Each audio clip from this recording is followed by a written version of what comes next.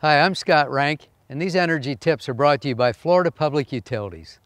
I would like to introduce you to the natural gas system that services your community. First, there's a natural gas pipeline buried that comes into your neighborhood called a main.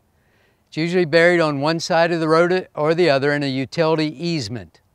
Off of that main would be a service line that runs to your individual home, and that provides gas for your appliances.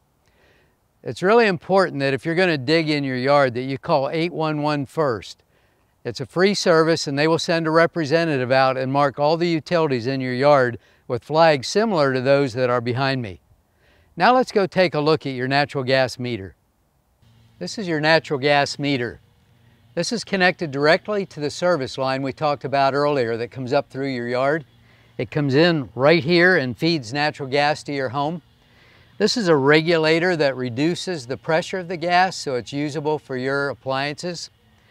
The gas then proceeds up through this pipe and into the meter where it's measured and that's how you're billed based on exactly how much you've used. The gas proceeds on and goes into your home either here or sometimes there's actually a line that would be buried that would go to an outside grill or a pool heater and it's very important for you to know that any piping beyond this meter is the homeowner's responsibility. The utility is responsible for the main and the road, the service line, and the meter. But the homeowner is responsible for the fuel line within your home and any buried pipeline outside your home beyond the meter. It's important that it be periodically inspected, be periodically checked for leakage. If it's not maintained properly, it could corrode. There could be leakage issues.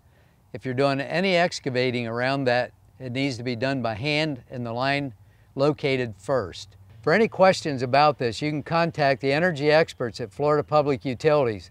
Ask about the fuel line maintenance program. Florida Public Utilities, energy for life.